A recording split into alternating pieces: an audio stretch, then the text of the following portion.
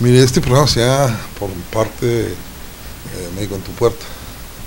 Ya terminamos lo que fue Gran Chapultepec. Ahí salieron tres niñas que eh, sufrieron, sufrieron sombrazo no por violación. Ya tuvo su bebé, ya se dio seguimiento, ya todo se tuvo un, así que un final feliz. Ahorita estamos en el proceso de llegar a Del Bravo, tenemos 10 pacientes, todas tienen servicios médicos, no- ninguna de las menores ha sido por producto de violación. De los 13 casos, se puede decir, de las colonias que hemos atendido hasta la fecha, no hemos tenido ningún problema hasta la fecha.